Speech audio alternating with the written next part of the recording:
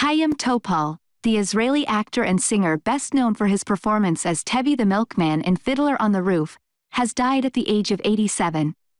Topol, who was widely known by his last name alone, died at home in Israel on Wednesday while surrounded by his family, local media reported.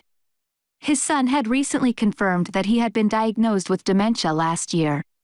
In a statement announcing Topol's death, Israel's President Isaac Herzog described him as a gifted actor who conquered many stages in Israel and overseas, filled the cinema screens with his presence and especially entered deep into our hearts.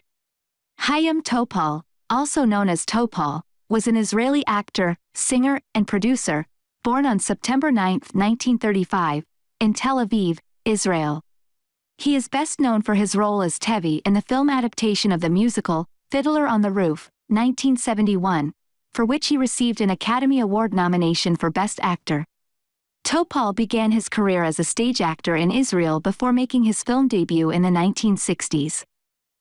In addition to Fiddler on the Roof, he has appeared in numerous other films, including Guns for San Sebastian, 1968, Flash Gordon, 1980, and For Your Eyes Only, 1981.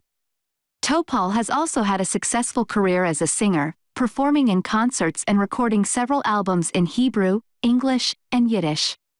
He has also produced films and television shows in Israel.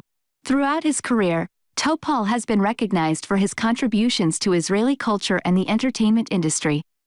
He was awarded the Israel Prize for Theatre in 1994 and was named a Knight of the British Empire in 1998 for his services to drama.